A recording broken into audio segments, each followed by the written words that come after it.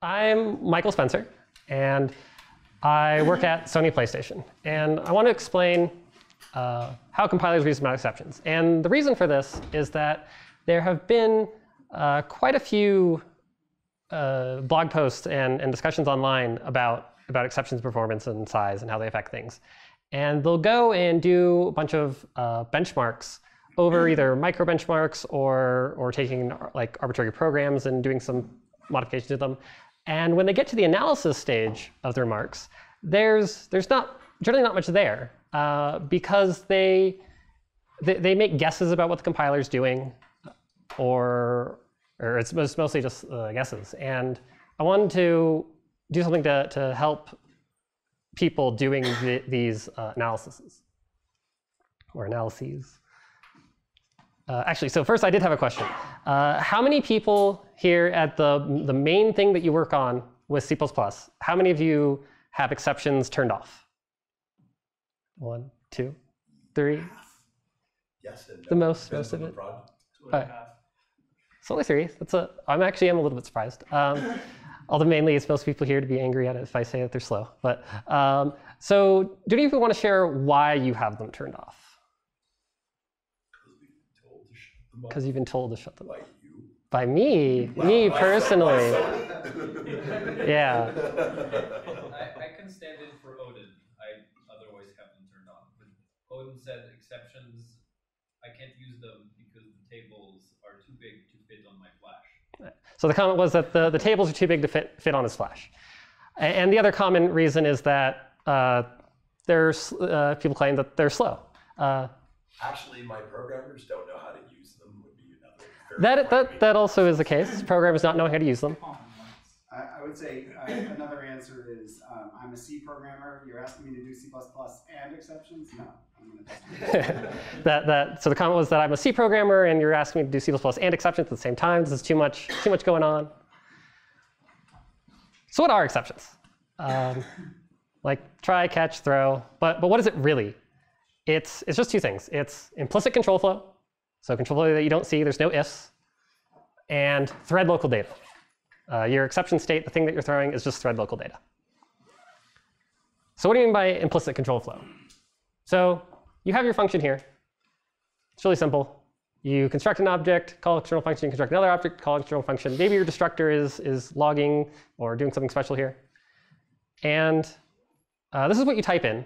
And, but that's not really what the compiler sees. Uh, what the compiler sees is actually this. And we have the special thing, like this is not valid C++, but it's representing what the compiler is seeing. Uh, this is just a goto, so it says that when you call external, if it returns normally, then you just continue on. However, if an exception gets thrown, you actually need to unwind down here, and then call the destructors, and then continue throwing. And if you fail here, you need to call both B and A. So this is what the compiler is actually reasoning about when it looks at your code. So we also have thread local data.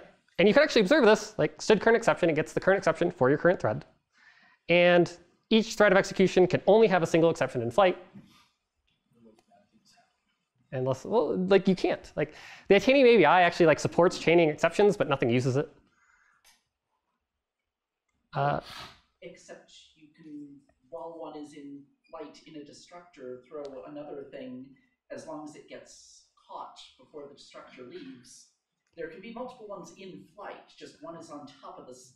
One is the top one. In so you can do that because of the way that catches work. Like I'll, I'll get into how the, the, it's actually implemented and why it works that way. Um, but only one can be unwinding at a time. Yes. Okay. Yeah. That's that's slightly different. Than... It it is. Uh, yeah. So how are they implemented? Uh, there there are two main implementations. Um, at first, we had set jump and long jump. Uh, so what set jump and long jump do is you can save the state of your program, uh, the the execution state, like the, the registers and what instruction set you're, uh, what instruction pointer you're at, and then later anywhere in your program you can long jump to that. And there's a lot of rules about when you can do this, but this is how things were originally implemented. Then later came table-based exception handling. So we'll take a brief look at set jump and long jump. And the way this works is that the compiler inserts code to maintain a linked list of contexts. And so when you enter a function, if it potentially needs to clean anything up, it'll add itself to a thread local uh, linked list and go, call set jump and add it there. And then uh, they, they remove them at the end of the function. And when you unwind an exception, you just call long jump, and you have some extra state set. And when you reach the set jump, it checks and sees what was your state. Are you returning because um, uh, there, there's different kinds of unwinds? And so do I need to clean up? Am I going to catch the exception? It does it not match my handlers? But that turned out to be slow because you've got you're maintaining a linked list on every function call. So next was table-based EH and specifically GCC style. Uh, Microsoft also has a table-based exception handling implementation, and it is uh, um, in principle equivalent, uh, or it's a similar style. There are quite a few differences. And we do, don't actually represent them the same way in LLVM, but ends up similar. So the goal of table-based exception handling was to stop tracking state in the happy path. So you've got your, your handling disappointment and, and, and happy. So let's, let's stop doing work in the happy path. But that state needs to go somewhere. And so it ends up in tables, specifically the EH frame and GCC except tables. Let's take a look at EH frame. What this does is it describes how to walk the stack. Um, we're not saving all the register state into like onto the stack somewhere. And so we need to, it needs to know what registers were they in, what stack slots things get saved in, so that it can find the return address and continue walking up the stack, or return uh, resume state there. However, these are also actually used for asynchronous unwind is the term for it, but it's actually backtraces. So when you like do backtrace in GCC, it actually, or GDB, it needs to read these. So these are actually here even if you turn off exceptions. And they're required by the ABI, but in practice, you can remove them if you have no exceptions, and things will work. Uh, but these don't actually say what happened with, with when exceptions are thrown. All it says is how to walk the stack.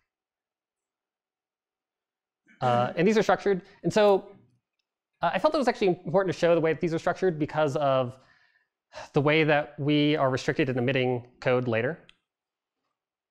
Um, I'm not going to go into su super de detail. It's just you have, for each object file, for each translation unit, you get block of data. And then for each function, you get a entry in a table. And what that says is uh, what instruction range that refers to and how to restore the stack, the, the program state at that, uh, in that function. And then because it would be slow to look at the whole list every time, do a linear scan, we build a binary lookup table. So whenever you, you start doing a backtrace, you first go look at the uh, binary search table, go look at that data, read a bunch of dwarf, decode a bunch of things. And this also actually does have a pointer to something called the language-specific data area, which basically just pointing to the actual C++ exception information. So for the other table, we we need to actually describe what happens when you're walking the stack. And for each call, we describe what cleanup code to execute and what catch clauses to match. And so this is another big section. This, for each call site, we say, what's the range of this call site? Where do we go? And what do we do? And so points to a linked list of action records, which says, which types am I handling? Or am I cleaning up? and then that points to like std type info. So you also need RTTI for exceptions. Uh, with no exceptions, you can also disable RTTI, or runtime type information. So how does the compiler actually represent this? Uh, branches. That's how exceptions get represented. So let's take a look at this code. I grabbed this off of um, uh, CPP reference. How many branches does this code have? What do I mean? How many conditional branches, more specifically? Is it, is it, so it could be one. Like in the actual code, we only see one. Um, any, any other guesses for, for how the compiler is going to look at it? so, so it actually turns out that uh, I think it's about like 12 that we hit. Um, and the reason, so there's this thing called destructor D. The reason that's there is because if you actually don't need to clean anything up, then it doesn't need to check if it's throwing an exception. Um, but in this case, uh, now is marked no except, so you don't have one there. But every single one of these is more down here. Every single one of those is a conditional branch. In the compiler, doesn't actually meta jump. Um, and even like minus subtract is is branch, and I think this is also one. Um, and even here, but the compiler is actually kind of smart. We do some work. We figure out you can't throw from here, so clearly this can't fail. So you actually do get quite a few branches. So what does this look like in the compiler? We're actually going to go to a simpler example because the IR for that one is huge. We're going to go back to our original uh, example, expanded out with the not valid C++, but what the compiler sees. So here's a bunch of IR. I'm actually going to go more in depth um, with a with an even smaller example. But the important thing to note here is that these things, each one of these numbered, it's just a label and it's a basic block. And whenever you start a basic block, the previous thing is a terminator. So it's the last instruction in that, that basic block. Um, and here we have, so in the happy path, we just go to one, we just continue down. And in the sad path, if it's a pointing path, we go down and start doing exception handling. So all of this is exception handling, and this is your happy path. And you'll note that we actually don't have any branches here calling. That was one thing I forgot to change. Pretend that this is, the, is A's destructor. And that's actually because since C++11, uh, destructors are no except by default. So if you have no except, then you get, you, you get rid of those branches, or the control flow. Um, so we'll get into a bit more detail. Uh, how is try catch implemented? So we'll go to an even smaller example and just look at this line by line. Um, we have, so this is just defining what the function is. It takes, you know, an int pointer and an int. And then we have this thing called a personality. Uh, a personality function is what connects the uh, exception, uh, the EH table to the GCC except table, the, the C++ specific tables. Uh, it, the, the unwinder looks at the exception handling table, and then at each frame, depending on the information that's there, it'll call the personality function to figure out what to do. If it should go to the landing, um, go to the cleanup code, or if it should just continue up. And uh, we mark that there because it's a single personality for each function. Then we just store some code. Uh, x86, if you're more familiar, this is just the two stores. So nothing special there. Now we're going to go and try to call potentially throwing instruction. So here we have an invoke. We're going to call AF. And if we're happy, we're going to go to 18, which we'll see. Which, and if we're happy, actually, so the only thing we're doing is AF, and if that succeeds, we're going to exit the function. So really all AF is, is the, or sorry, 18 is, is the exit block. If we're not happy, then we got to go and clean up. Actually, sorry, we have to go to the catch block. And so what does this look like? Suddenly, your happy path is just a call with uh, setting the this pointer and then the call. And then all the tables. Uh, there's actually a bit more to the tables, but this is the important stuff.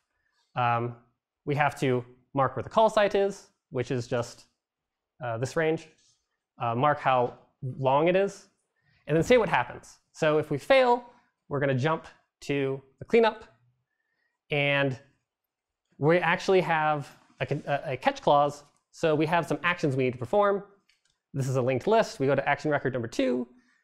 Uh, there's some weird, the way they index things is weird, but this just says that it's action record number one. So first we catch type info one. Type info one is just int, and uh, then you just do the cleanup. But so that's where all the code ended up that would be if you had done uh, return error handling, you would have had call, check the return value, jump to something else. Instead, that gets encoded here. So if everything's happy, then we destruct A and return. Um, but we still get some um, tables here. And here's where we get to start to get to places where compilers can improve. Uh, this is no except. You can't have an exception here. You don't need any tables. Um, but we do, this is where the EH tables come from.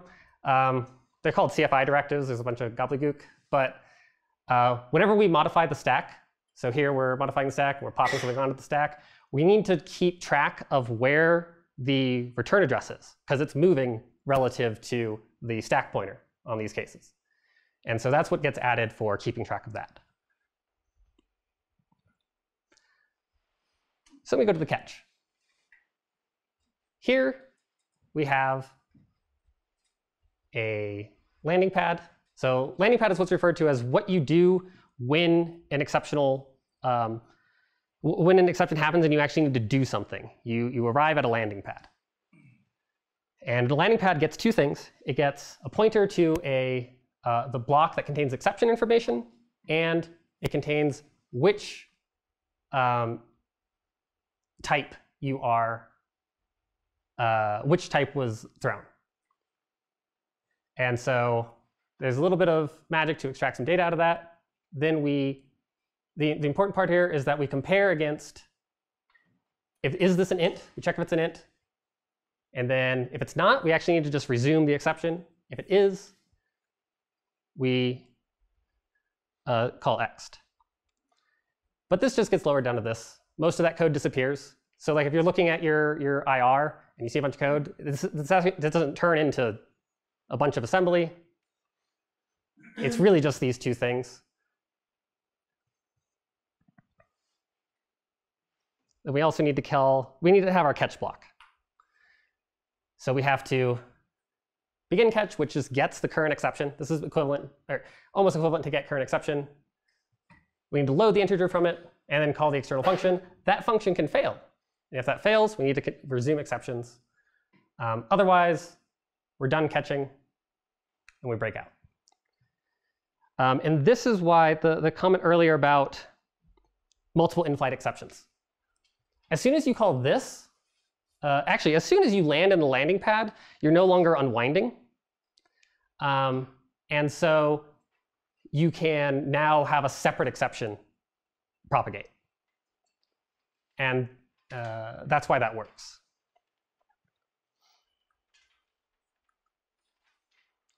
Sorry, uh, this one. Um, again, lowers down, really simple um, to begin the catch and the catch, call ext. And all this says is that if ext fails, then we need to go do some cleanup work. And then the last thing that happens is um, if so this is this is the case of if it does fail. Then if, if x throws an exception we have yet another landing pad. And then we have to clean up a and then we resume throwing the exception. So we resume propagation which doesn't get any tables and just calls and resumes so now let me know that what the the compiling. Sorry, yes. Um, if you have multiple catch blocks, therefore multiple landing pads, are Yeah. they tried in order, or is there a table that tells you exactly where to go? They are. Tr uh, so that is handled. Do I have a mouse? Apparently, I don't have a mouse. Uh, that is handled in this code. Um, since there's only one, we're just going to emit a single compare. Um, if there's multiple, then it just emits a switch. So it just lowers to a, it can lower to a jump table or just a normal switch. Yep, too far. Where am I? Okay. There we go. So now that we know more about the type of code that the, the compiler has to generate and uh, the, the restrictions on the, the tables, we can start looking at how it needs to reason when it's doing optimization. So first, we're going to take a look at constant prop. Here's my beautiful function. So no one would actually write this. This isn't what you write. But we're C++ programmers. We like abstractions. And we don't necessarily know how people are going to use our abstractions. Um, someone uses your abstraction and passes a lot of constants to it. You can end up with situations where it all compiles down to this,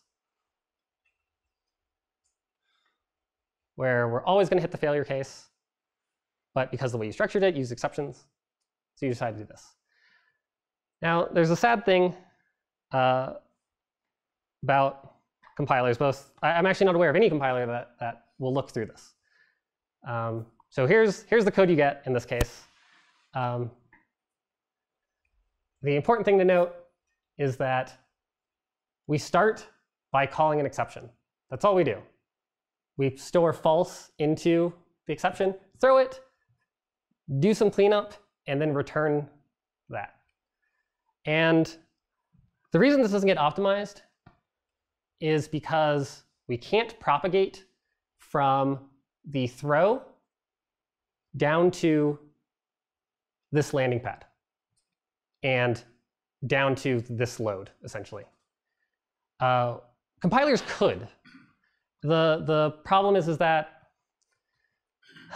there's we have to start embedding more information about the the LLVM. Not the LLVM, sorry, the C++ front end stuff, uh, specific stuff in the back end, and know what these functions do.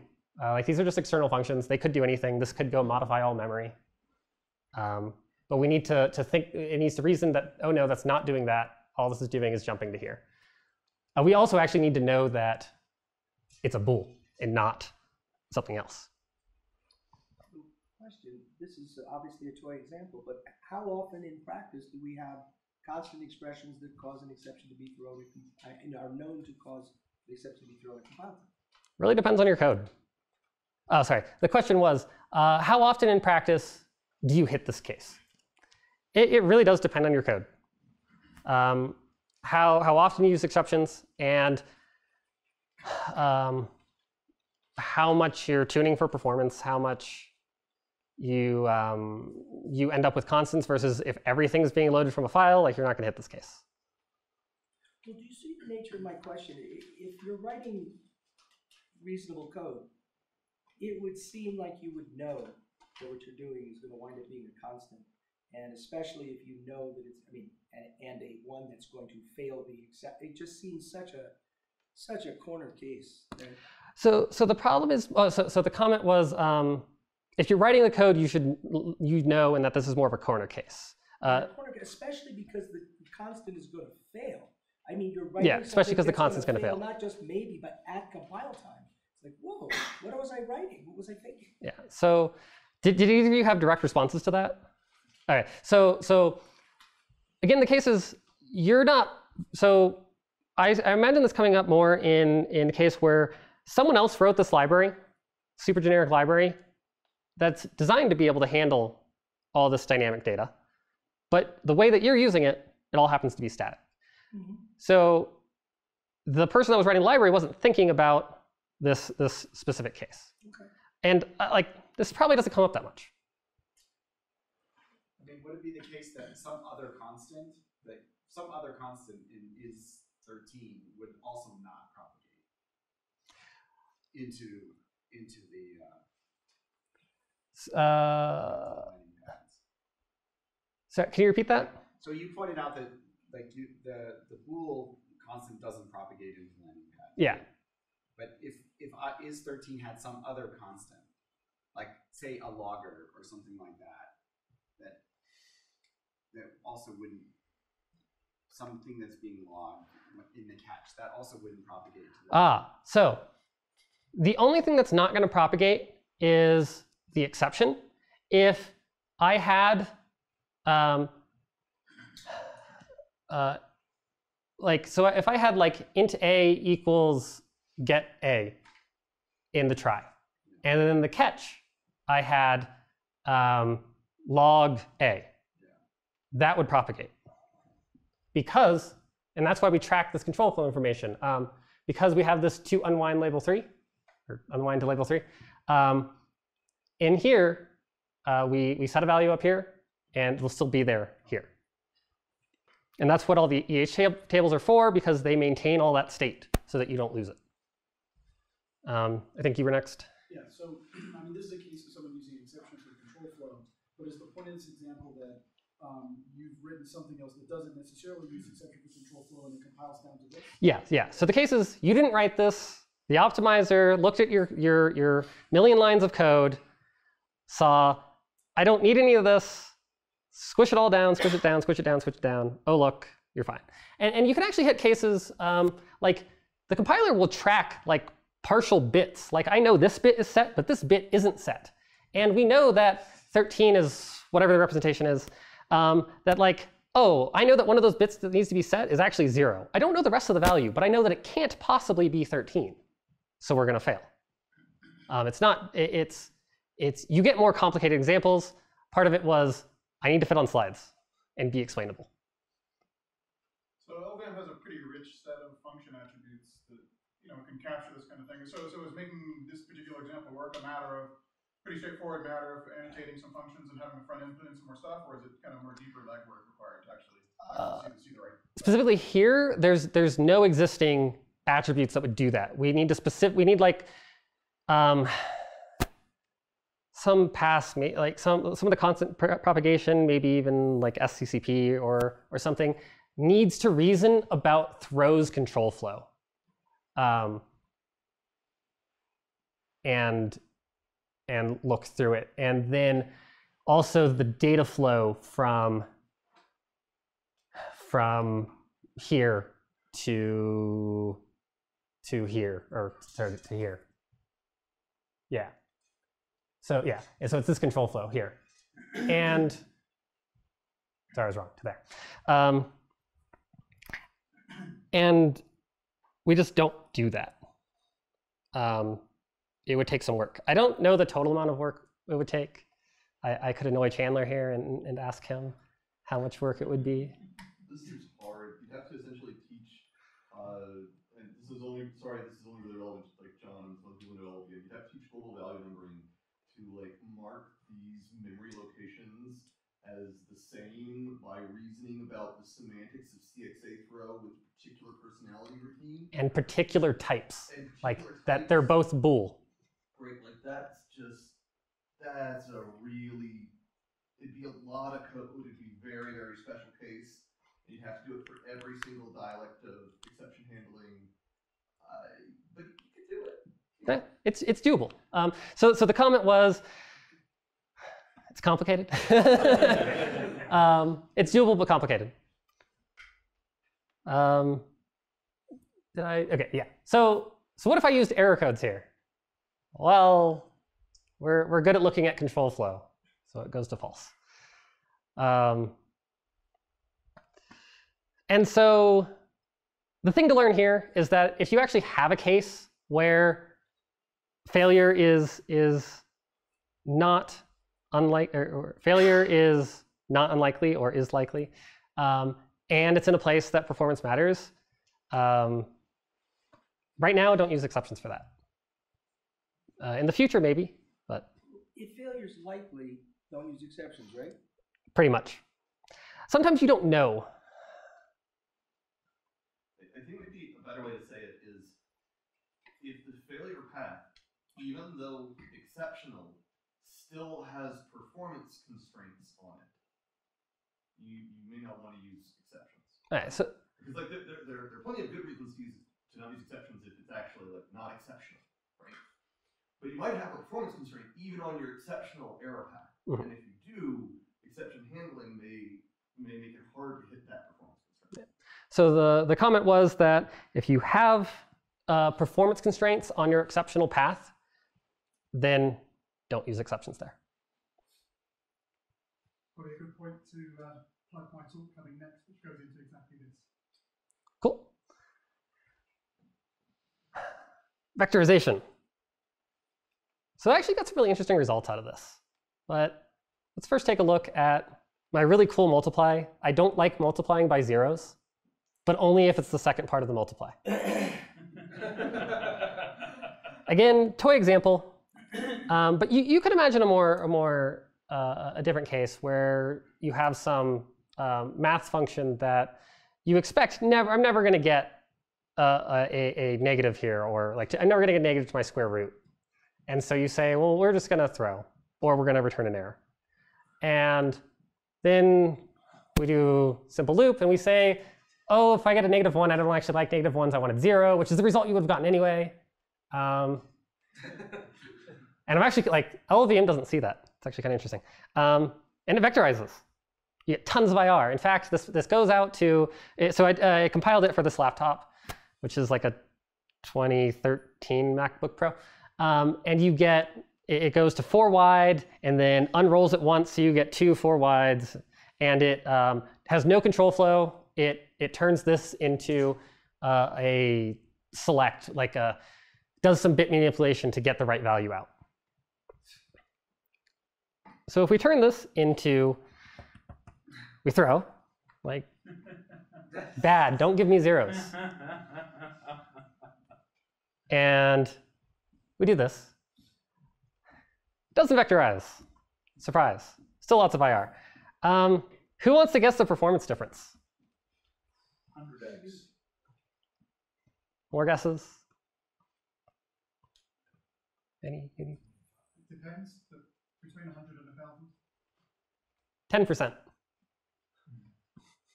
Uh, in the case, so, so the specific test was 120, so the, the buffers were 128 megabytes, and I filled it all with uh, ones.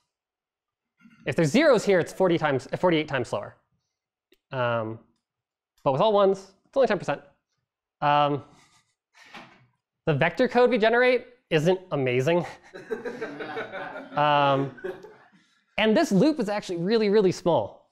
I, I like I- this might be hitting like loop decode um, buffer levels. Um, but so you can get surprises here, um, especially when you're when you're not throwing. Now there are more complicated cases. Sadly, I, I can't show these on slides. They're they're huge, and the reason they're huge is because the way compilers reason about things. Uh, branches complicate analysis. Um, and the reason they do that is some optimizations, they only look within a single basic block.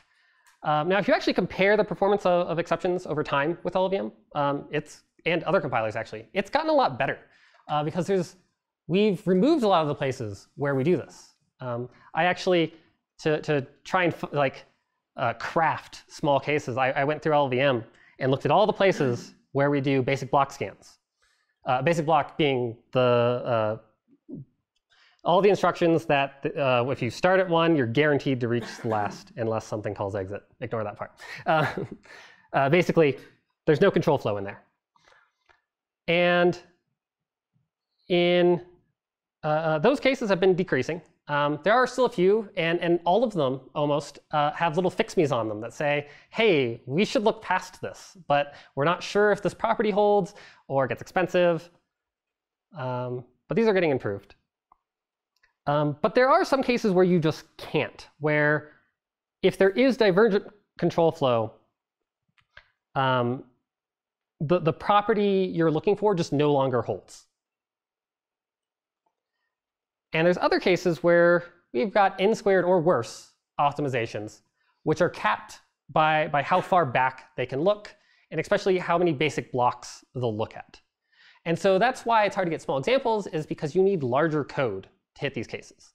Uh, one of the, the, the in, in researching for this, I, I took LLVM, compiled with and without exceptions, and looked at the, uh, the optimization stats. So LLVM can print like, oh, I did this optimization and this optimization this many times. So I looked at all those um, across, across LLVM and Clang. And you do get some interesting results. Um, uh, we actually generate a lot more code with exceptions turned on. And so you do a lot more optimization. But it's a lot more optimization to get back to where you started without exceptions. And uh, one of the interesting cases was actually loops, is that um, the extra branches significant, uh, uh, um, in some cases, significantly reduced the amount of loop analysis we were able to do. Um, and we'll see how much, actually, I don't think I have the numbers for this. Sadly, or, or, or actually not sadly, um, but against what I predicted, um, for LLVM, actually doesn't really matter. Um, turning on exceptions in LLVM was, I, I did limited testing on it, um, but it was basically you couldn't perceive the difference. Um, perceive the difference in performance, um, which is is partially because the way LLVM is written and and that compilers have just gotten better. Um, now size, we'll we'll take a look at size uh, in a bit, but when you do hit these cases, uh, the, branches from the exceptions can hurt a lot. So let's look at space. So this is a, so some people only care about performance, others care about space. Some care about both. Uh, particularly, actually talking with with people on Chrome, um, they care a lot about how big their download size is. So how much space does it take up? Well, depends. Depends on the compiler. Depends on your code. Um, so let's let's measure some stuff. Um, let's take LLVM Clang, turn on. Uh, so so Clang LLVM Clang by default compile with f no exceptions, f no RTTI. So we turn them on, and here's the differences. These are sub, uh, um, uh, colored by section, and the big biggest difference is text section, which is where all your code goes. Um, let's take a look at what else changed and, and analyze why, more importantly. Um, dynamic symbols. This one was actually surprising. And uh, we actually gained 13% in dynamic, like global symbols. Like, how is that possible? And it's actually because it, it's, a, it's a technical reason that doesn't really need to be there. It's because ELF can't tell the difference between a symbol that you need to um, just get the, the uh, to link a single object file and handle um, uh. So better explanation of that is you have function instantiations. Sorry, function template instantiations or just template instantiations in general. We know that those all get combined together. You don't get a separate instantiation in each thing. And the way those get combined together is they have a global symbol and they have a tag and the linker says, I already saw this tag, so I don't need to look at the other ones. And um, because when you have exceptions, you actually emit more destructors and uh, less inlining happens because the code is more complicated. And so the inlining heuristics just end up inlining less. You actually end up uh, having more calls, which don't, um, when you have a, a, a uh, inline function or a, a template, you don't need to omit that if you inline it all, because like somebody else will have their own definition. But in the cases that that doesn't happen, we have to omit it, and then um, the linker doesn't know that nothing else is taking the address of that function, and we have address identity in, in C++, so everybody has to agree on the address. And so we, we don't drop it. We could actually fix, we, we could add a ELF extension to get rid of most of this. Uh, some of it you won't get rid of because of the less inlining, um, but a good chunk of it we could. Dynamic relocations was really surprising. It's like five times as many. Um, I looked at what they were, and it's all, um, uh, I believe a bunch of this is actually from RTTI, uh, because I also had to enable RTTI to enable exceptions. And so um, big chunk of this came from um, uh, the virtual tables for, for RTTI information. But the dynamic relocation table is actually pretty small, so it didn't actually have that big of an impact in total size. Uh, text, which is actually a really important one uh, because of caches and, and uh, uh, page tables. If you grow your text size, you can end up bringing, needing to bring, have more cache misses and more, more uh, uh, page table misses. And the reason for this is, is almost all landing pads Some of it is, is we were able to do less analysis, and some of it is that those extra branches actually cause more code to be generated even in the happy path. Um, and here's another place where, where I'm actually sad with LLVM is that as of GCC 8, so the most recent GCC, um, they actually take the landing pads and put them in a separate section and, and shove them off to a different place in code. So they are truly in cold, code. Um, everything prior to that, they go at the end of the function, but not somewhere else. So you don't get it as densely packed. Um, even with GCC though, they still have to omit a little bit of code because it needs to jump to the, um, it needs to insert a little trampoline down to the, the real code. Um, so this, this could shrink a bit, but your text is always going to be bigger.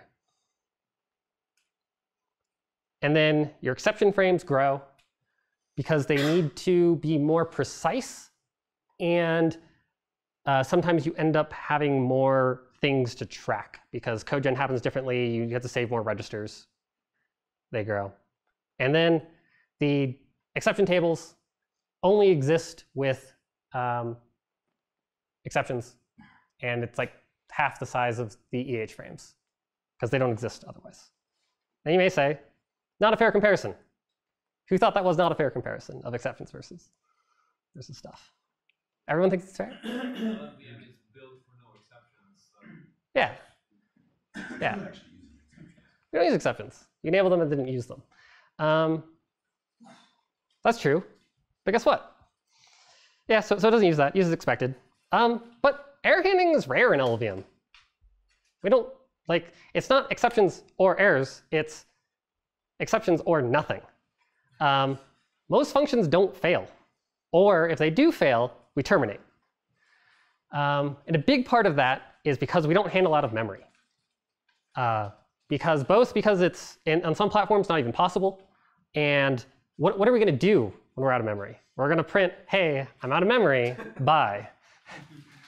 Classic thing you do when you're out of memory is you, you have a reserve store, and so you don't need any of the exceptions or anything, just have the new handler. And when you run out of memory, you give back the memory that you reserved for that case, you save your client data and you exit. We don't have anything to save. Then you don't have to worry, but, but that's what one would Yeah, do. yeah. And Jack doesn't want, don't want to say, in all cases, there's nothing to do, because Yeah. sometimes there is something. But you, but you can actually do that even, well, if your platform uh, has that capability, even with no throw new, you can do that. You can set a um, out of memory handler. That's what I'm saying, it has nothing to do with exceptions. Yeah, yeah, yeah, okay, sorry. In fact, it worked in C a long time ago, Yeah. before you were born. Probably.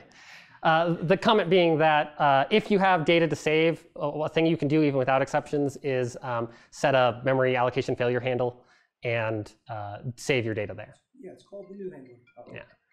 But so you actually go and look at LLVM, and I and I, I've worked at LLVM for a long time, and I actually went and sampled to make sure that I wasn't just like forgetting about the error handling. Um, uh, we so we have we have a verifier that doesn't even run at, at um, uh, in release builds, but when you um, when, when we so we, we have error checking when we read in bitcode, and um, when we read in the files. But that's a very small part of our, our code. Most of it is doing analyses, analyses, and, and transforming bitcode. And if you give it the wrong thing, that's a programming error, is how we view it. And so we, we have asserts, but they're turned off in, in, in, in um, release. And so if something sneaks to release, yeah, we crash. Um, but why'd you write your code that way? Why did you write bad code? Don't do that. Um, and so that's the way, and so that's why we don't have errors or error handling. And so why, when, when, most, when you have this kind of code where most of your code doesn't have errors, that um, it's not really a trade-off, or it's not really a, uh, um, it, it is a more fair comparison. Um, but we'll actually look at a more fair comparison. Or, um, yeah. So sadly, I cannot pronounce this person's name. Uh, but they wrote a blog post, 2016, comparing the size of uh, C-style error handling versus C++ with exceptions and C++ with no exceptions. And in all cases, no errors actually happen. This is just the overhead and size of, um, of, of, exceptions versus error codes. So the way they did this was they generated a thousand C++ functions, each in their own translation unit, and a thousand C functions, and then compares with F no exceptions and stuff. And um, and so I have their um, blog link down here. Uh, these are the two things it generated for C++. It generates over there, and for C, it generated this. And you run the benchmarks, and you basically get this. That C code's a little bit bigger, C++ exception handling, a bit smaller, and then no exceptions the smallest. And so, uh, like I said earlier, they, they get to the analysis step, and they say, I, I don't really know why, maybe this, maybe that. Um, let's actually answer why. So I went and looked, looked at all like what codes generated, and obviously no except the smallest because there is no error handling. So the overhead you're paying on both those other cases just doesn't exist. C, the, why, so why is C larger than CPP EH? Sorry, yeah. Because they actually check all of their return codes instead of missing five or six of them.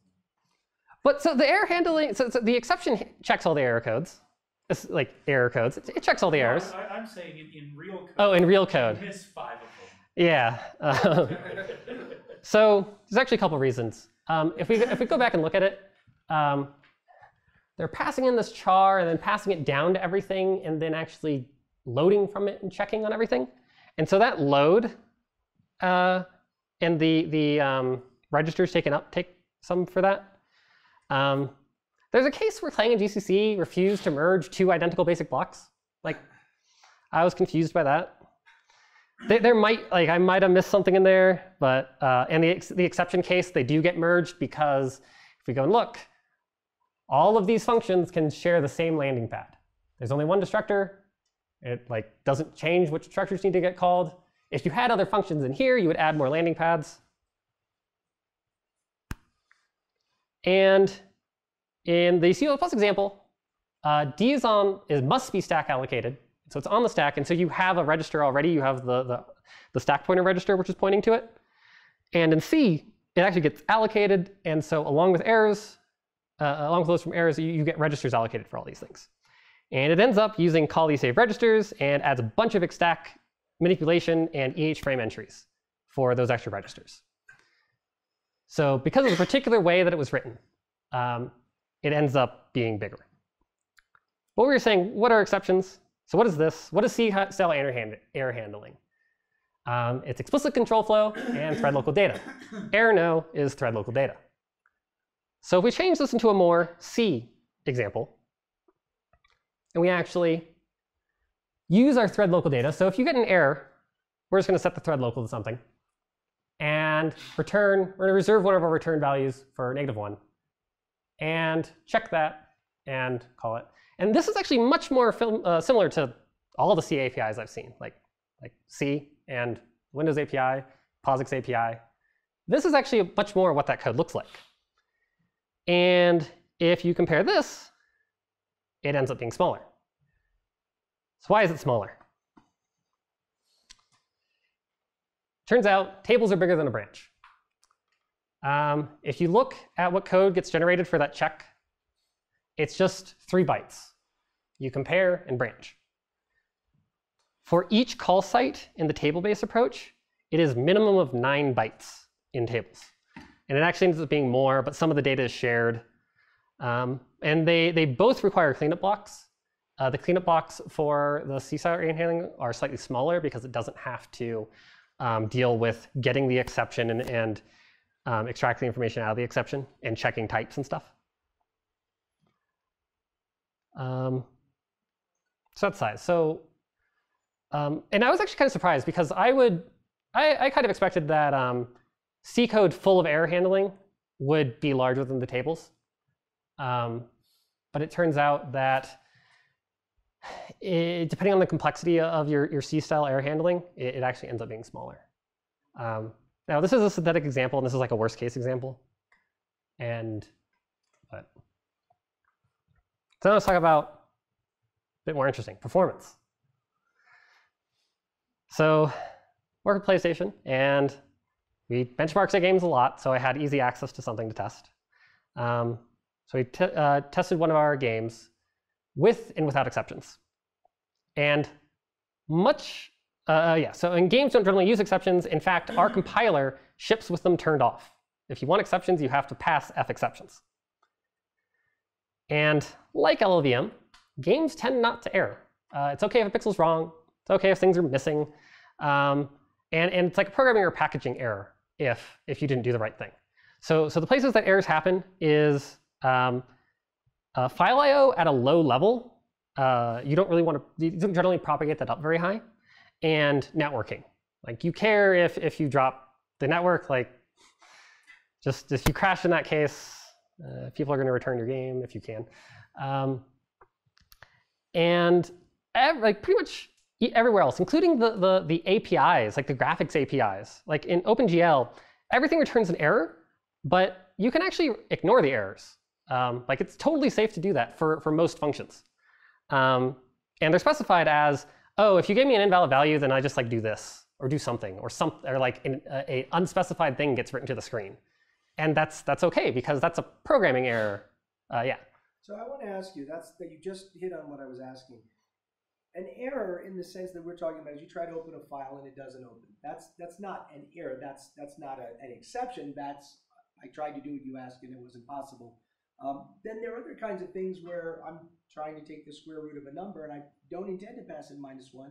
But if I do, that's not an error in the conventional sense. That's Yes. the contract. Yes.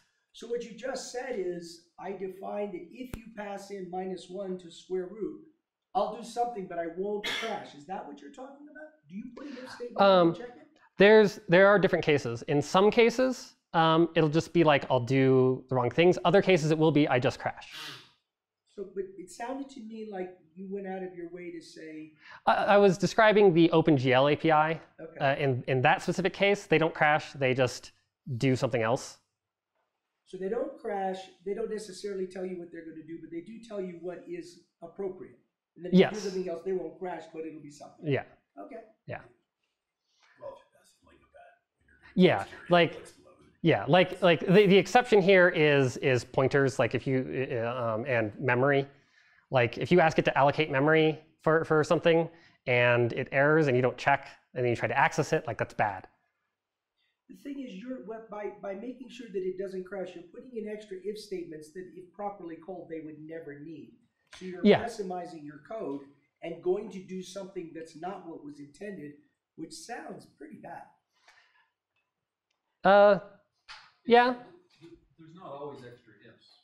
Yeah, and so so the comments so so the comments here were that um, if you're you're checking for cases and then just not uh, for cases that are out of contract, but you don't want to signal that, and you're you're still adding checking even though you're not doing anything with it. I think that sums up. Yeah, you're doing nothing. Like, Yeah. oh, it's out of range. I won't do anything. Yeah, and then uh, uh, Tony commented that um, in those cases.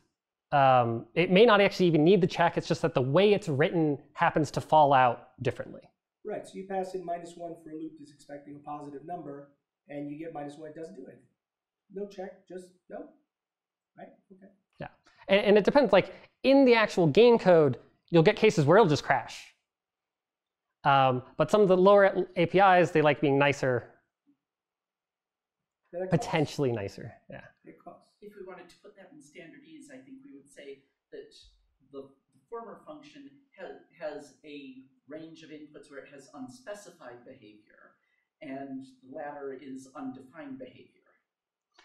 Yeah, or an unspecified value maybe. But yeah, so, so, so the comment was that we want to put it in a standard terminology. One has undefined, like truly undefined behavior, and, and the other has, has an unspecified uh, behavior or unspecified value, or like implementation defined, or various things.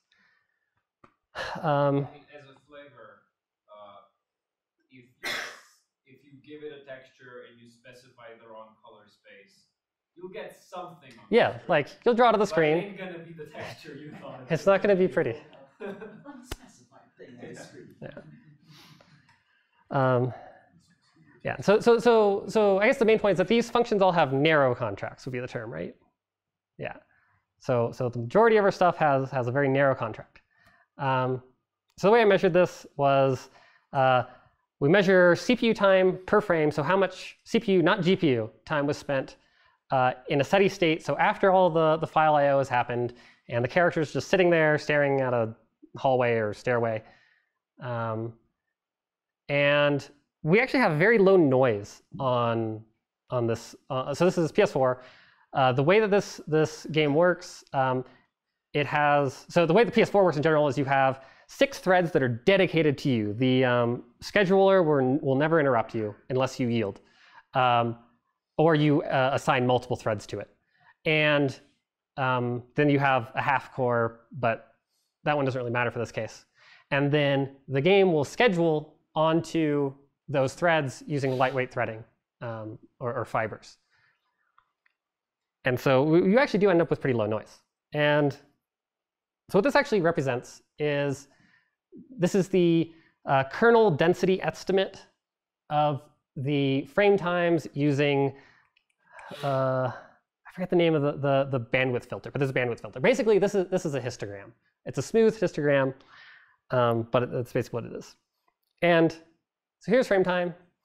We're, we're actually down at like, yeah, which is, you have 16.6 or 16.3. Do you remember? Yeah, so 16.6 repeating. So we're hitting 60 frames a second. Um, and we're actually way down here. We, we actually have quite a bit of headroom here. Um, but this is uh, not necessarily the worst case CPU time. And then there's also the time uh, from when you submit your job to the GPU and how much time it has to finish the frame, which extends it out. Um, so, so you do have a very limited budget. But if you actually look at these, these numbers, the difference between these numbers are really small. And if you actually like take the average of these values and compare it, it's, it's a bit less than 1% overhead. Um, uh, and, it's pretty repeatable. Um, but there, there's not much difference here. Um, and this actually really surprised me. Because um, uh, done stuff in the past, and by past a while ago, um, compilers seem to have gotten a lot better at this. Um, haven't gotten much better in code size uh, for exceptions, but, but performance. And, and part of this is because when, when you do performance tuning, you care about inlining a lot. And if you have your functions external, uh, they don't get inlined unless you're doing LTO. But this, this was a non-LTO build. Um, and so when things are inlineable, the compiler can actually see through them. And Clang does a really good job, actually, of implying um, basically no except. It's not actually no except, but it's basically that uh, this, uh, this chain of function, this function and everything it calls, there's no exceptions. And so it just says, we're going to we're going to take this from that invoke thing with all the branches you saw and just turn it into a call. And so when you've, when you've been heavily optimized just for inlining, you, you also happen to not have external calls in your hot code. And so I, I was a bit surprised, but, but a bit less also. So so that gets us on to what are, what are the true costs? Um, so we had potentially dead branches. So potentially dead in that if you actually never throw an exception, then that's a dead branch. That, that exceptional edge is dead because you don't care about that because you don't throw. Um, and they can be hard to remove. And that branches do impede optimization. Um, compilers are getting better here, but, but there are cases they can't handle. And that code that doesn't have errors uh, pays, this pays this cost in size and performance. Um, but as we saw, depending on the way your code is, uh, the performance can actually be not that bad. So, so for people that are actually not using exceptions, I do encourage you to, to try enabling exceptions and see what hit you get. Now, the choice to actually use exceptions in your program can be a whole different thing. Like if we try to do this in LLVM, it's, we have 10, no, like almost 20 years of history of not using exceptions in the code, and you just try to turn it on, the amount of programming errors you'd get, the amount of cases where we like, we're, we're not, we don't have the strong exception guarantee in all these cases because we don't write our code like that. Well, it's not even that. If you don't write your code to be exception safe, and that requires a mindset, the code will just not work. Yeah, so, so the comment was that if, if you're if you're it's not it's not a little it's not the way you just said it. it is like well it's not strongly exception safe. I could live with that. It's not like that at all. What it is is the code will absolutely not work. Just will not work because the difference between writing exception safe code and non-exception safe code is so pervasive, and people that aren't aware of exceptions will write exception non-safe code by default. I'm just, it's just, Yeah. I want you to state it with the right amount of Yeah. So so so John wants me to increase the the uh, warning. the, the warning here. It's like Uh, storm warning, um, not not a watch. we're we're going up from from yeah storm warning trout. We've got like hurricane levels here of of you have a long history of, of code not written for it, uh, trying to throw trying to like add exceptions in there. Like no one has that mindset. The code was written with that mindset, um, and you change your code. And this is actually also part of the cost of exceptions. Is that um, and the one the one example that everyone always wants someone to go do is take a big uh, project and rewrite it with exceptions, which is which or without, which would be an amazing project to do if anyone has a few years free time. Um, and um, when you do have to rewrite your code to, to handle exceptions, you do have things where, like std vector, um, we do different things depending on if it's no if it's no except or not no except, and you end up writing your code differently depending on where you can have exceptions and where you can't. Um, and so, what's what's the fix here? Um, what what can we do to? So we we have proposals or not really proposals here yet, but but in the committee, people want to to there there have been suggestions of standardizing uh, FNO exceptions. Um, doubt that would ever make it through, um, but what can we do to, to reunify C++ really? So we have there's a ton of libraries out there that only compile with FNO exceptions. Don't work with exceptions at all. Um, and if you have exceptions, like if if if it's if it uses any of your types and your types need exceptions, then it just doesn't work with them. And so how do we how do we bring these back together? Because because we really do currently have a a uh, fractured C++ community. We have the exceptions people and the no exceptions people. And sometimes they can share stuff, but cases they can't. Um, so part of the fix I'm actually going to say is uh, improve compilers. Um, there, there's, a, there's a thing that makes me very sad in Clang uh, where uh, you could say uh, one, one of the answers here actually is throw no except on everything. Um, then you don't like it just gets rid of the branches and you're happy. Uh, problem is is that uh, Clang doesn't handle no except very well. Um, the semantics of no except are that if an exception would propagate outside of this function, then you call std terminate.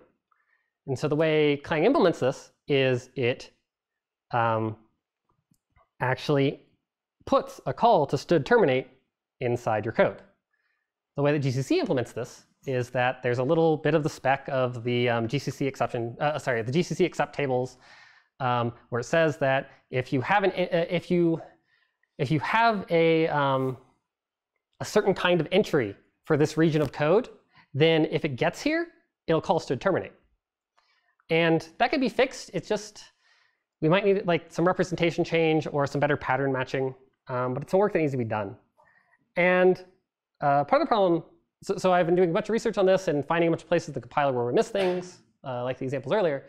And like, I actually want to go and fix these, but um, at my job, we don't care about exceptions. Like we ship with them off.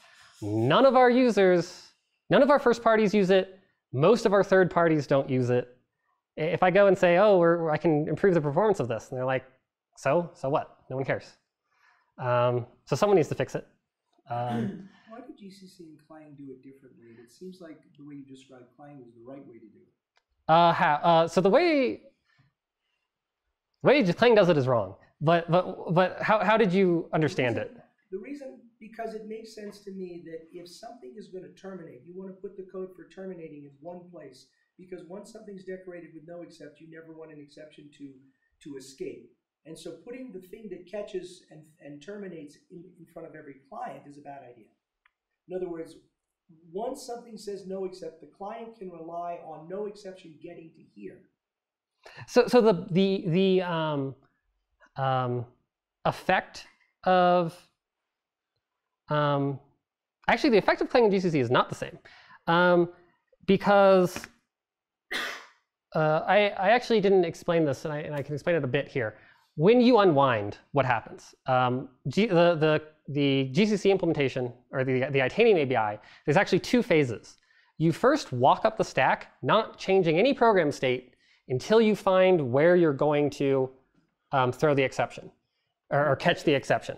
And the reason it does that is that in case it needs to call std terminate, you have the program context of where the exception originated from, which is much better for debugging. Sure. Um, and the way GCC implements no except, uh, you'll hit this case and you'll have you'll know where it threw from uh, without doing any, unwinding. Then there's the second stage where once it finds where it's going to do something, then it goes up the stack, calling cleanups, calling destructors at each level until it gets there. And so in the way Clang implements it, it actually will walk up the stack and then get here and then call std terminate. When it, when it sees that it's not allowed to throw through. Yeah, it goes all the way It up. was intended by the, pe- when it, when it was originally designed. The idea is you didn't want the flow of control to be able to go back through something that claimed it was known. So I, I'm not I'm not fully understanding uh, what you're saying. Um, the the the observable semantics This is security hole. other than well no no it's the observable semantics other than what destructors are called um, other than if the the stack is unwound is um, is the same sorry yeah, chandler I, I, I think I think the confusion here is uh, not, neither implementation unwinds past no except. yeah they don't unwind past it Right, like they- they're they're they're never going past it. Clang unwinds to the no except frame and then calls to terminate. GCC calls to terminate immediately without any unwinding. yeah GCC's approach to this is strictly more efficient and completely conform. Is it conforming? yes it is unspecified whether or not the stack is unwound when you call uh, std terminate or unexpected but that doesn't exist anymore But it sounds like that it would be kind of nice to see your call stack. it would be What if you're holding some non-RAM resource in between those two spots? In one case it would be freed, and in the other case it wouldn't, like a name block or something. So, so I do want to I do want to repeat some of these comments. Uh, the, the the the summation from from from Chandler was that they they both do not propagate outside the no except function. The only difference is if the stack is unwound or not. And then the comment was that it would be nice to to know where you had the throw if you call std terminate. Right, And then I think you were saying Uh, I was saying that uh, um, you may be relying on RAII giving something up that's not cleaned up automatically on the Yes. between those two spots. And, and I think I mean the. I think I think it would be more better to see where the throw was, not the, the catch that can exist or something. I don't know Yeah. where they're going. So. So I think Chandler has a direct answer. Yeah, like I just want to like I understand that people make this mistake. Yeah. But it is a mistake to rely on destructors being run when you throw an exception that calls to terminate. They do not. That is true for all of the ways that you can reach to terminate. If you throw a second exception within a destructor while unwinding an exception, and that calls to terminate, guess what? It doesn't continue to run destructors. In fact, because it can't, because you're in one, right? Like, and so part of designing exception safe code is both being prepared for the unwinding to run some of your destructors and not relying on one on unwinding for critical cleanup when your program is terminating, which is why there are terminate handlers. And we can debate whether this API is good and how frequently programmers remember this. Absolutely. But like that's what it says, and, and there are a bunch of reasons why you can't rely on destructors running if an exception ends up calling to terminate. Because there are a bunch of ways you can get to that point, and some of them functionally have no mechanism to run the destructors any longer. So the comment was. Um, Don't rely on- don't rely on destructors running when you're calling or when std terminate is being called. Right. Okay. And I was just gonna say that it's actually like my opinion is it's much easier to debug because you know in the good case you get a core, and what do you want? You want as little code to run after the fatal condition is detected as possible because that would give you more information. Like I speak from experience. Just, just I would, like, what what is the the terminal thing? The throw, or the fact that it walked back the call stack that could hit the. Uh. The, the walking, the walking does not unwind. This is. Yeah, because this this is just there's two phases there. So first of all, the comment was that it's easier to debug when less happens. Sorry, it's easier to debug when less happens after the, the error, and that um, the, it's it's two phases. There's the search phase and then the actual unwind phase, and this calls terminate during the search phase. Yes, and this is not due to no except. If you throw for main and miss, you have the same Yeah. problem. Um, I was going to add something to that. So the the other thing that can be used to fix this is that if I do have so so I've got my code that doesn't do errors um, at all, and so I know everything could be marked no except, but um, so you, you I go and tell my game programmers, okay, we, we can enable exceptions and you can have exceptions in these places, but to make sure that you're not having any performance or size impact, you get to go add no except to, to hundreds of thousands of functions. And, and they're going to stare at me like I'm crazy. Like, like, go away. It's not worth it. It's more than not worth it. It's really bogus. Because, because for, for narrow contracts, all kinds of things are prevented. You define undefined behavior by putting no except on. That's all, that's all. You, you what? You define undefined behavior. If you put no except on the bracket operator, things that would otherwise be undefined behavior become partially defined. Uh, so, so the comment was that, that if you put uh, no except on something, the things that would be undefined behavior become defined. Um, Well, not completely undefined. or become not completely undefined. Uh, what, what case are you thinking of here? Bracket operator for vector. Um, It's undefined to call it outside the valid range of the vector. putting no except doesn't change that. It actually does, because if you call it outside the valid range, before anything could happen, now one thing can't happen. It can't throw past the thing because it says no except, so you partially define the behavior. You haven't completely defined it, but you've taken something It- off the table that's really important. So, so the comment was that, for example, if you put it on uh, a vector operator brackets, that uh, you're saying that a, a, a valid thing to do would no longer be to throw. Um, uh, so, so this is true, but this isn't going to hurt optimization. I don't know what you mean by that. It's going to hurt the, the ability to have a contract and, a, and, a, and an a, assertion handler and the ability to deal with it, especially during testing. So, so it can hurt those cases, but those aren't the cases my users care about. My users care Do about they care about testing? Testing. testing games is an interesting thing. Um,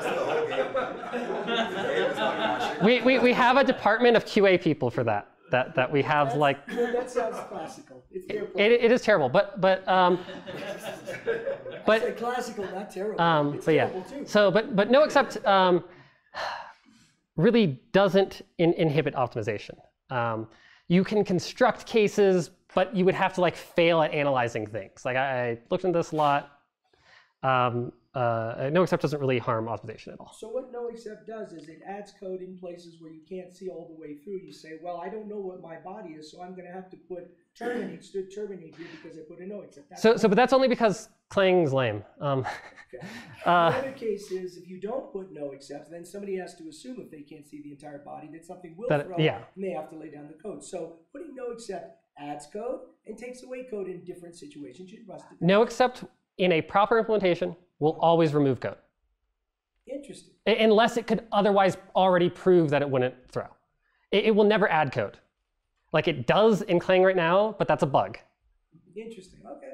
Um, uh, we had some other hands, but did they go down? Okay, so so let's fix no except. Um, there's actually a really easy way to do this. Like I just want scoped no except. like, oh yes, and, and yeah, no exceptions in std two.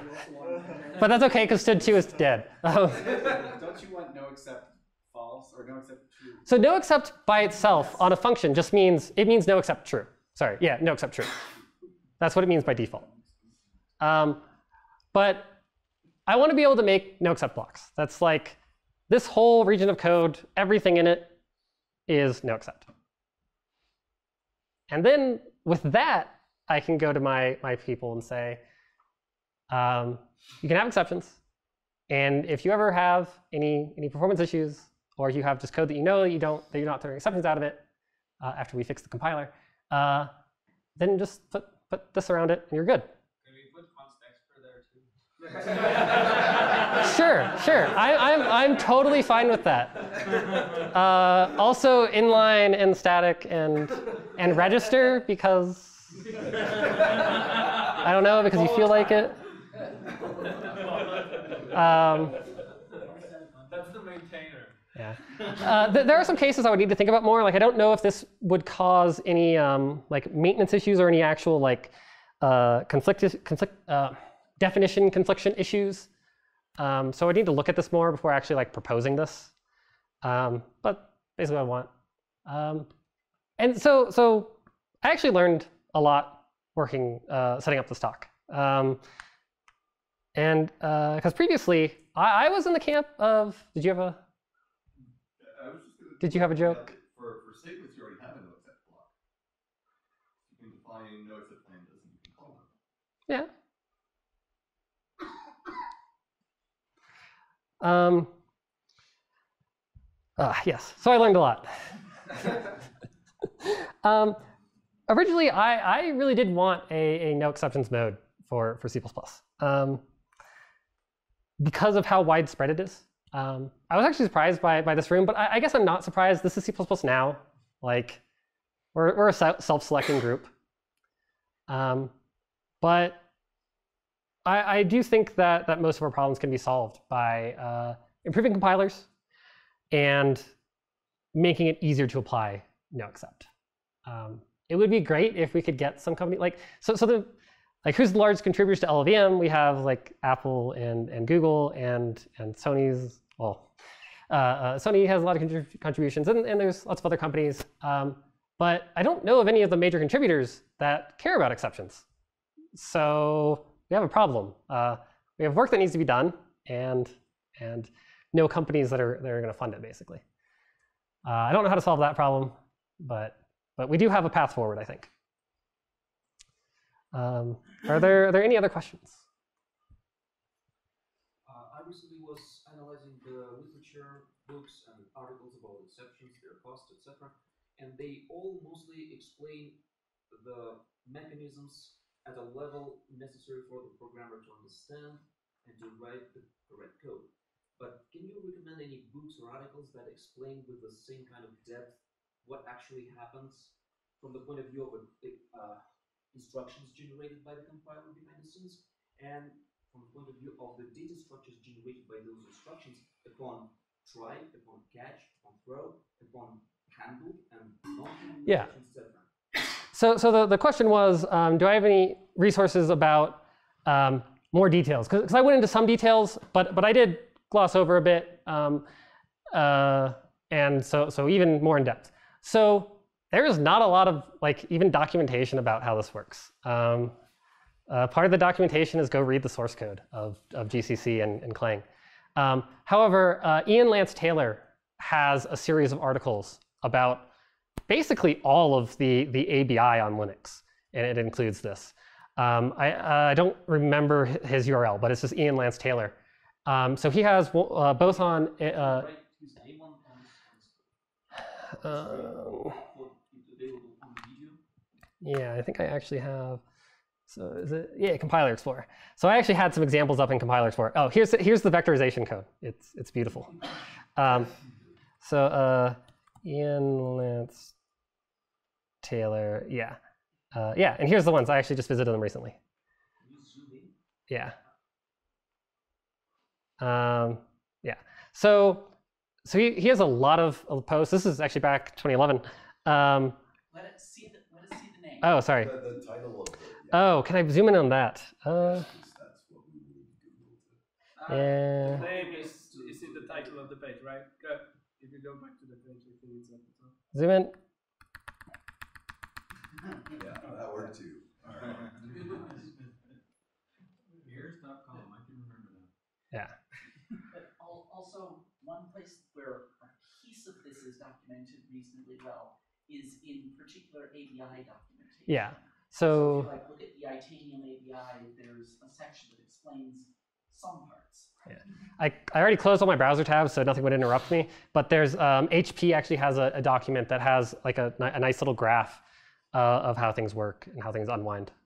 Um, yeah. So my experience has been that uh, exception using systems that are well designed um, involve throws and catches relatively rarely, and there's typically a large uh, number of stack frames between the throw and the catch when there is a catch in play.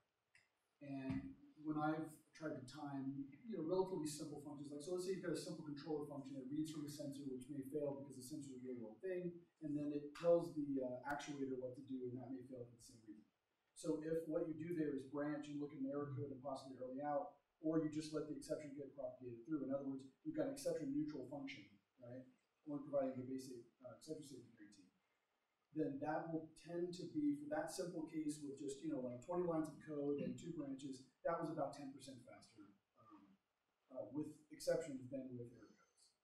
And I'm wondering if you did any um, kind of um, if you're able to find any examples where you could see like um, the cost of propagating exception versus the cost of propagating the same information as code. Yeah. So the the person who, whose name I couldn't pronounce, they also had a later post um, about exactly that case.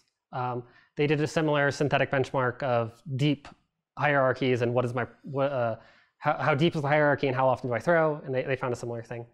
Um, uh, I don't I didn't uh, add that because I, I didn't really have enough time to go into that also. And, and the main point was that like I'm not propagating things everywhere. Everything's either local or no no errors. Um, but I think it's interesting to look into. I, I also like uh, I need to look deeper into to his results there or, or, or their results because I you're doing a a, a, um, a, a binary lookup table at every level and looking through like you're pointer chasing all over the place.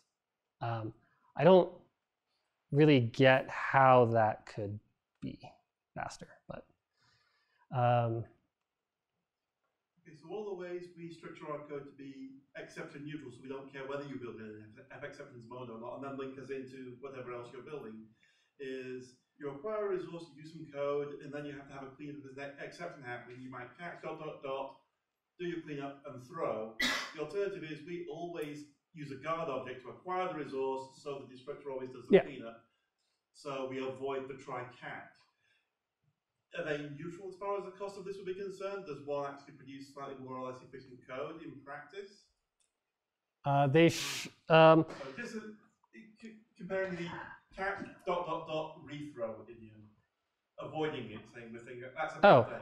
yeah, that's uh, it, it.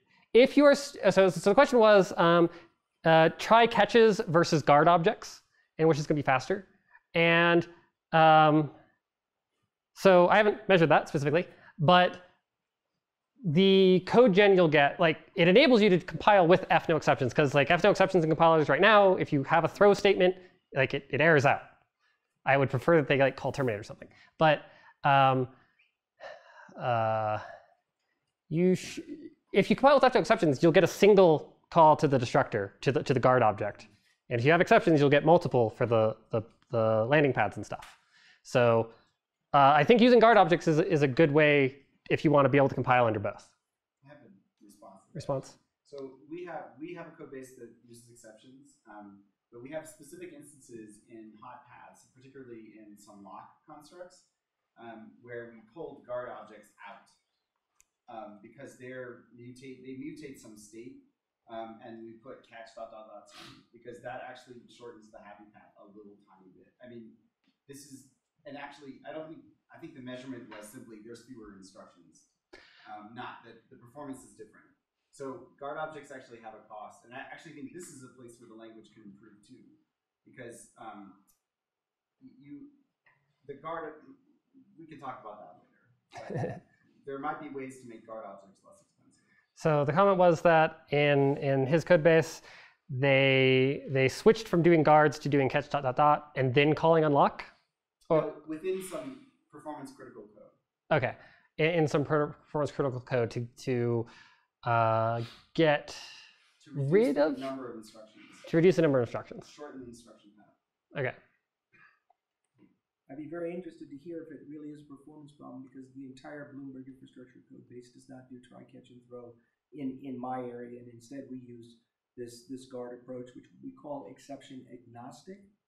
And that way it works in every, everywhere all the same way. We don't have to worry about whether exceptions are enabled or not.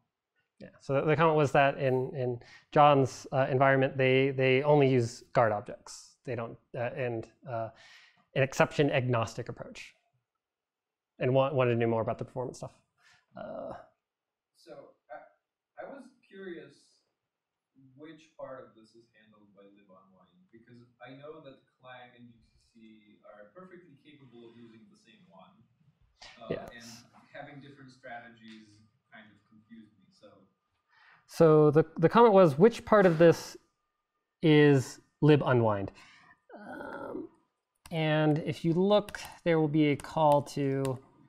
Um, so most of the stuff is is um, ABI or, the, or whatever your your C++ ABI library is.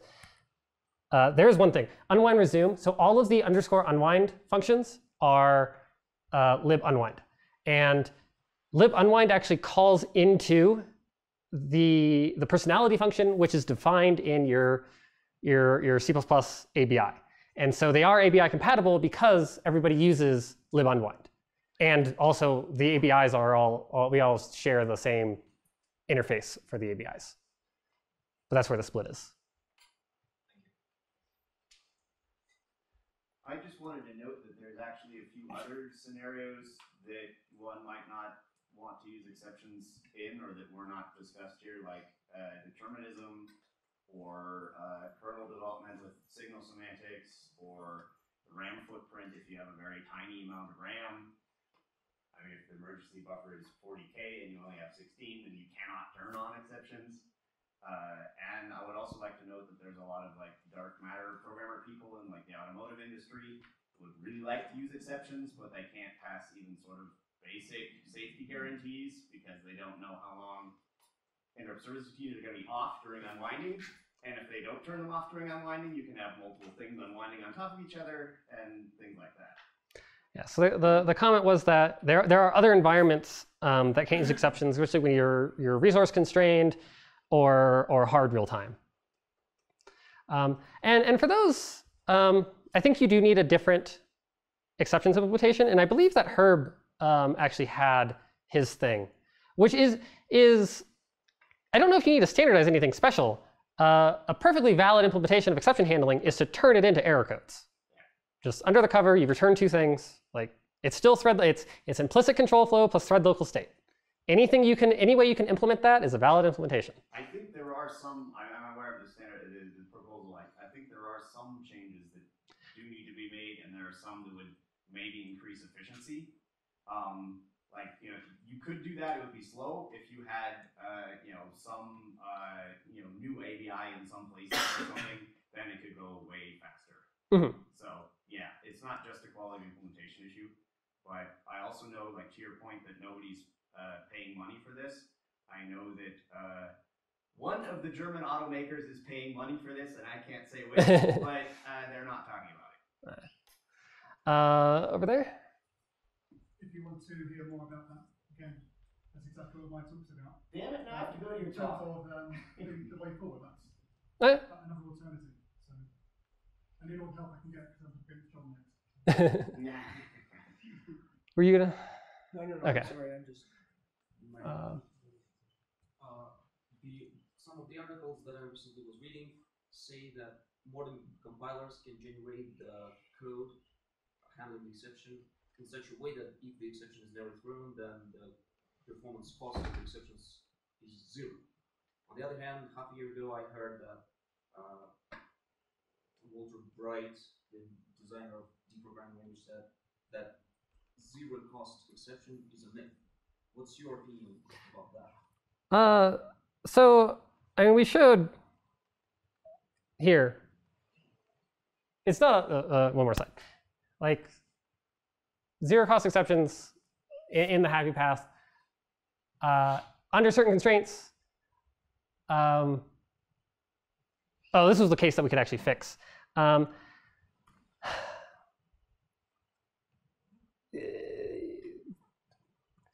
it's hard to like getting absolute zero where the exact instructions that you execute is the same, I don't think is is is possible in all cases. Like I, like that's provably not possible. Um, uh, simply because you, you have more exit blocks in, in that you have places where previously you would not throw a destructor, where like where you have uh, in RVO where you're not throwing a destructor um, because you're just constructing something. Where now if you have exceptions, you are adding destructors, and that increases the amount of state you need to keep. Um, and so I don't think you can get zero. I think you can get very close to zero. But is it possible to do some exception preparation work in the beginning and during the run in a loop to have a zero cost, zero performance cost of the exceptions? Uh, so, so for, for loops, it, it actually adds additional exit blocks. And so there are optimizations that can get inhibited. Um, so, so we are over time, but uh, you had one more? I was just going to say zero cost compared to what? There was also is that. Compared to, say, error code, is that potentially possible to get less than zero? Uh, I mean, yeah, you can be cheaper than error codes. Like you don't, you don't have the branches. And if, if everything's, uh, depending on what the compiler can see, what it can do, um, yeah, it can be, it can be cheaper. Chandler's staring at me. Um, okay. Thank you.